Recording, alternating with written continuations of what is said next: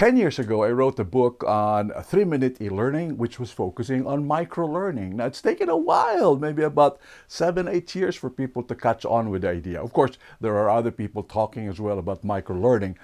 But here comes TikTok. You're probably familiar. Right now, there's a lot of argument whether Microsoft and the government is interceding, buying out TikTok.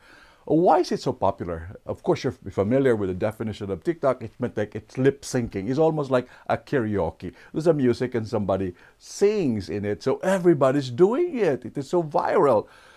From a learning point of view, what I pick up is the following. Number one, I think TikTok allows people a self expression. Now, since we cannot produce our own high quality musical video, the next thing we can do is lip syncing it. And if we do it so easily, people are able to do it. Lip syncing allows people to express themselves, allows to entertain, in fact, allows to become part of a community and allows to impart the knowledge. One of the biggest principles we know that works in learning is one best way is to teach. You're learning something, you learn the skill, you learn the experience, and then you teach. So when you teach, you're actually making, magnifying your ability to retain and apply the knowledge of teaching. TikTok for me is like teaching somebody else by singing to them, by lip syncing to them.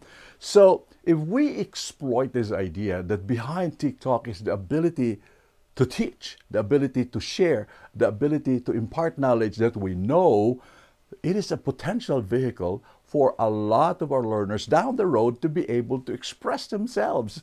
So let's encourage expressing themselves, and you need to test TikTok.